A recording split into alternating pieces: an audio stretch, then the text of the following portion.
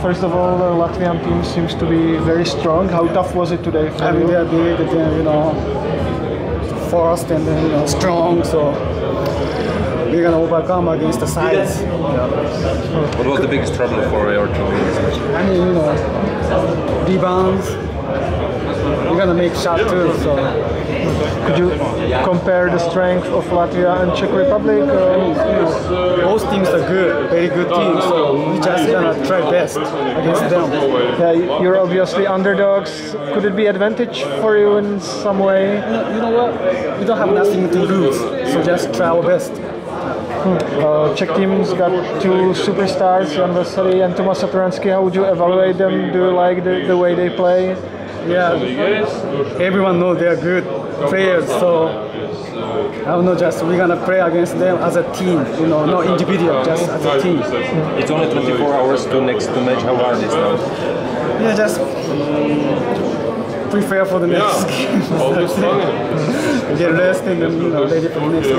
How big is it for you that you can play here? You can even, you know, try to try to do something that you made it into the qualification. Yeah, that's this is a good opportunity for me, also even for the Japanese basketball too. So you know, just try to get the one win in this tournament. Okay, thanks. Thank you very much. You, you tell, you tell, was it possible to a few, few questions about the, uh, the position of basketball in Japan because I don't have really opportunity to to, to speak to, to much. So, w- what do you think you miss most in these type of uh, uh, international games? Is it the size or what, what would you say? Yeah, obviously we are smaller than opponents, you know, the other teams. So, like I said, we're gonna overcome against the size, you know, speed, quickness. Play, we're gonna play as a team. Uh, how many people are now following your team or watching now in, in Japan? I mean this this game. This game, like in Japan right now, it's the middle of night, like you know, mm-hmm. 1, 1 a.m. or 2 a.m. right now. But you know, Japanese people still awake and then watching our game, so I really appreciate for them, and uh, that's why we're gonna play hard. And, and are there many thousands or ten thousands, hundred thousands? I don't know how many, but uh, you know, I hope you know as much as you know. Uh, What's what's the what's currently the popularity of men's basketball in Japan? It's getting better. It's getting better. So uh, that's why we're gonna this tournament.